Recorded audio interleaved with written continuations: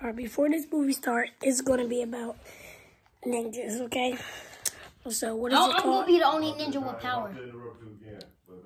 We all gonna have powers.